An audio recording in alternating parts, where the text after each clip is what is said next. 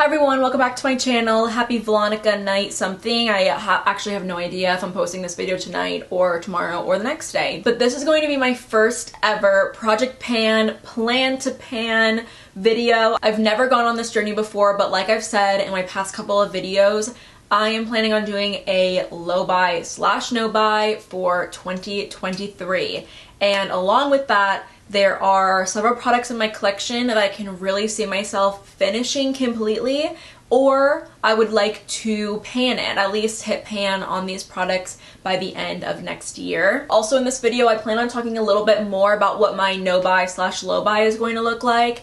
And I have three products that I am going to allow myself to purchase in 2023. So I'm going to start with some base products like sunscreens, primers, all of that. The first one is my Smashbox Primerizer. Hopefully you can kind of see where I'm at. I've got about this much product left. I feel like this is one of those products that I could totally kind of like mix in with my foundations. I just really would love to finish this up finally. It's one of those products that I did enjoy. I love the idea of it being like a primer plus moisturizer. I love the texture of it, but it's just one of those products that have sat in my collection for a really long time kind of going a little bit unnoticed. So I would like to finish that this year. Another primer I would like to finish up is my e.l.f. Power Grip Primer feel like I could definitely do that. I don't have that much product left in this tube.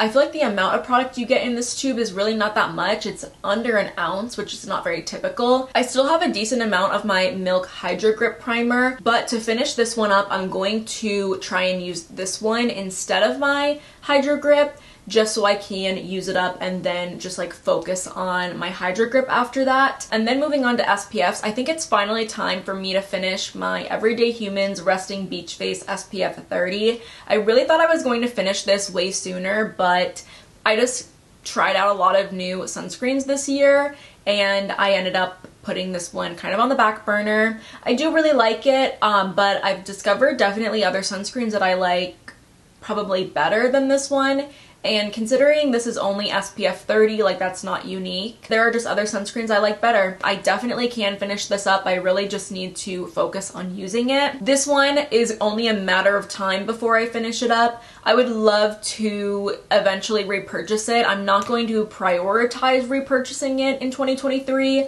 but um, I've completely forgot to say the name. This is the Milani SPF BFF SPF 30 primer. Yeah, I'm not to prioritize repurchasing this product only because I have way more SPFs to use before I think about purchasing another, but this is definitely going to be a product I eventually repurchase in my life. And last for these kind of more base products, SPFs, I have the Saie Sun Visor Broad Spectrum SPF 35 Sheer Moisturizer. I really hope to at least get very close to finishing up this product. I can see maybe not having it completely finished, but I'm actually reading the expiration date on the back of this right now and it expires January 2024. So hopefully I actually can finish this up before it technically expires. I'm sure we all use expired makeup. I absolutely 100% use expired makeup. It would be really cool to finish this actually fully before the expiration date. These two are going to be a little bit more ambitious for me. I just hope to at least be pretty close to finishing up my Tower 28 Sunny Days tinted sunscreen. And I just actually finished up my 2022 favorites like filming that.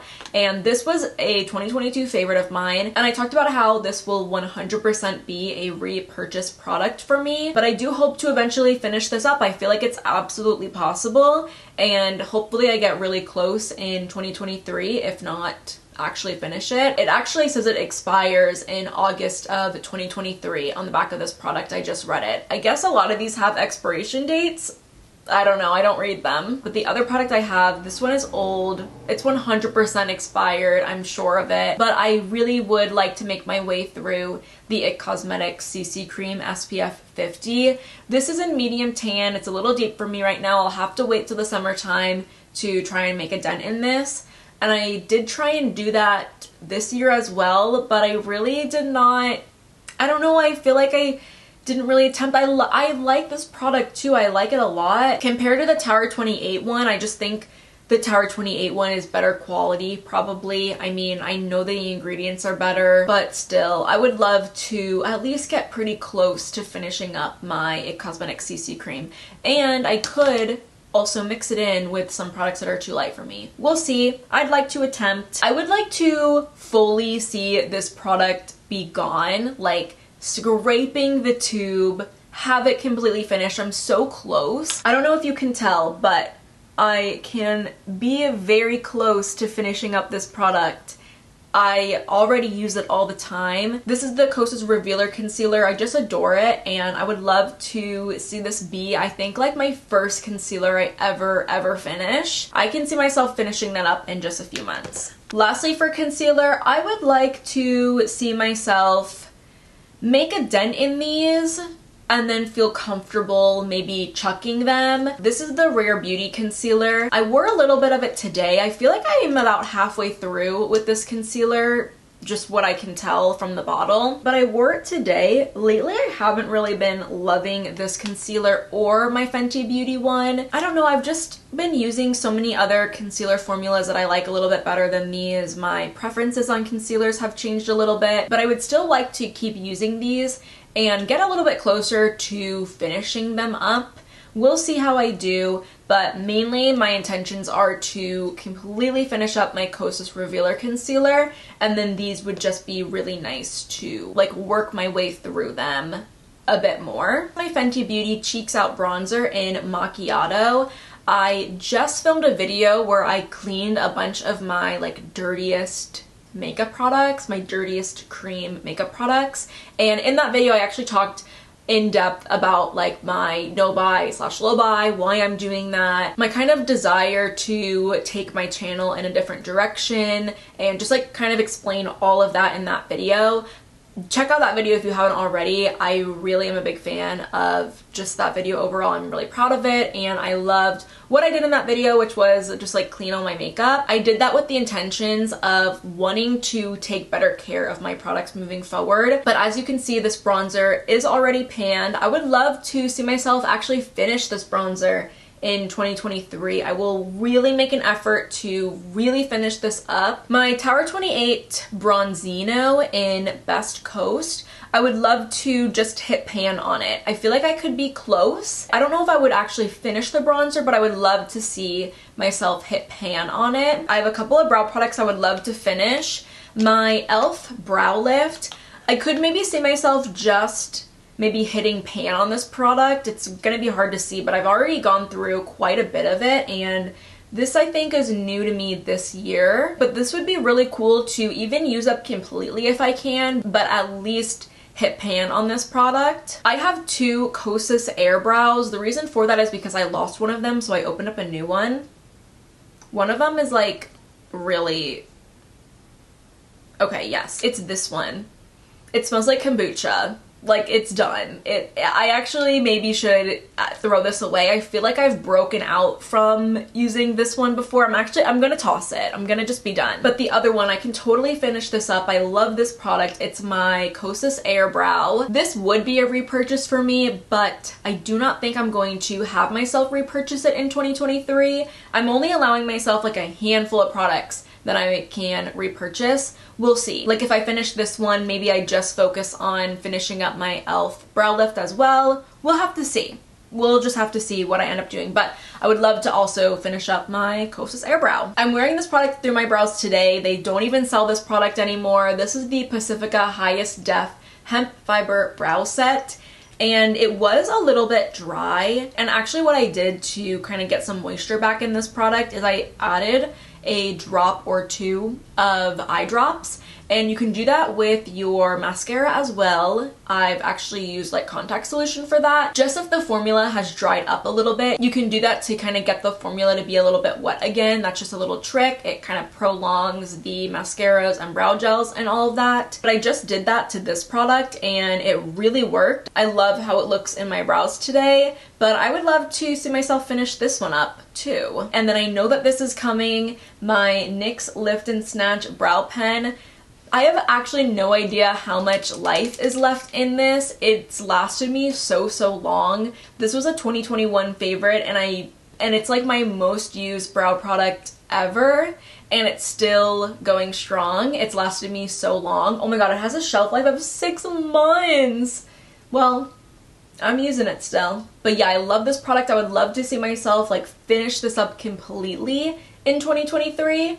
We'll see. Maybe it's still going to be holding on strong by the end of next year. I use it all the time. Like I have actually no idea how much product is left in here, but we'll see. I love it. I would love to see myself finish it. My Tower 28 Make Waves mascara, I would love to be scraping the mascara clean because I just love it so much. We'll see. I always have a hard time actually finishing a mascara fully because I feel like mascaras go bad before you can even finish them.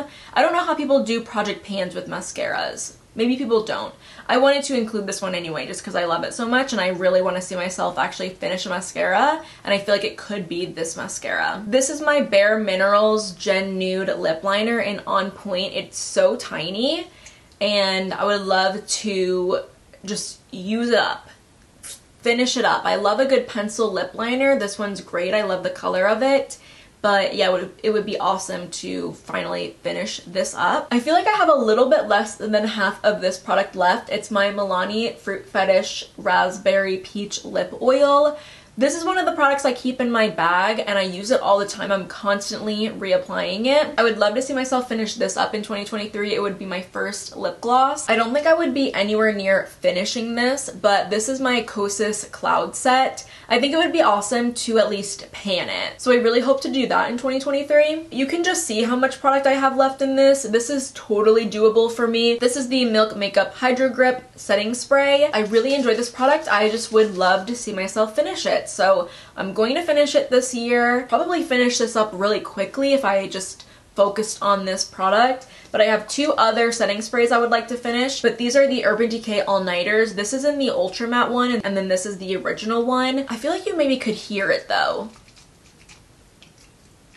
Like, can't you hear that there's not a whole lot of product left in these? I can totally finish these up. I just need to put these kind of like on my desk and only grab these setting sprays until they are gone. So those are the makeup products I have intentions of either finishing up completely in 2023 or hitting pan on. I'm really excited for this journey. I'm sure I'll have to kind of figure out how I would like to update you all and do those Project Pan update videos. But considering I'm going on a no buy slash low buy in 2023, I really believe in myself. I know that finishing up the products I have intentions of finishing up is totally possible. I just really need to focus on it and do it. So the reason why I keep saying no buy slash low buy is because I am not going to buy any new makeup any new makeup in 2023. I actually really want to unfollow every single makeup brand I follow on Instagram. I think I'm going to do that. I think I'm going to do that maybe next week, but I am going to allow myself to repurchase these three products right here. So if I finish my NYX Lift and Snatch, I am going to be repurchasing this. This is the brow product of my life. It is the best brow pen I've ever tried. It's the only brow pen that I truly love for the formula and the color. Just this particular brow pen has my whole heart if I finish it, I don't, I really have no idea how much product is left in here, but if I finish it, I will be allowing myself to repurchase it. Once I finish my Kosas Revealer Concealer, I also am going to allow myself to repurchase it. I do not want to live a day without it. I really love this concealer, especially the shade, the shade 4.5 Neutral. It's going to be my first concealer that I ever finished up fully. Actually, no, back in the day, I used to be able to finish up my Urban Decay Naked Skin Concealer. Love that concealer. Like, was obsessed with that concealer. I would actually have to repurchase that concealer, but they discontinued that formula. Urban Decay has made some questionable decisions throughout the years. I will be allowing myself to repurchase the Kosas Revealer Concealer. My boss actually gave me a $100 gift card to Sephora for the holidays. Super nice of her, I really love my boss. But I'm going to use my gift card to repurchase this eventually, whenever I end up finishing this. And then the other product I'm going to allow myself to repurchase is the Tower 28 Make Waves Mascara. I just think that this is my holy grail mascara. Like I feel like I finally found it. It's my holy, holy grail. And yeah, I can go my whole life without using another mascara, I feel like. So these are the three products I'm going to allow myself to repurchase in 2023. Otherwise, I am not buying makeup. I feel like another video that I would like to do is maybe like a makeup inventory because I do not plan on doing any declutters this year. I think I will get rid of some mascaras, like some old mascaras just because like I don't need them in my collection because I know that they're expired and they'll like hurt my eyes if I put them on. But everything else I am not getting rid of. I want to take inventory of everything. And if there are products in 2023 that I just did not use, then I am going to allow myself to declutter them because again, like I said earlier, I would love to eventually create like my capsule makeup collection. I don't know if that means like I'll branch out still and try other new things after 2023. I have no idea. We'll just have to see how I'm feeling. I'm really excited to take on this new journey. I am really excited to not feel the pressure of like buying new makeup and putting that pressure on myself. And I'm really excited to just enjoy what I have again in my collection and feel the joy of finishing something finally. That is going to be it from me today. Thank you all so much for watching today's video. I'm really excited for those of you who have chosen to go on this journey with me as well. Let me know if you plan on doing a no buy slash low buy in 2023 or if you have products that you are wanting to pan. That is going to be it from me today though. Thank you so much for watching today's video. I really hope that you enjoyed it. If you aren't already subscribed, definitely go ahead and do so and hopefully I will see you next time.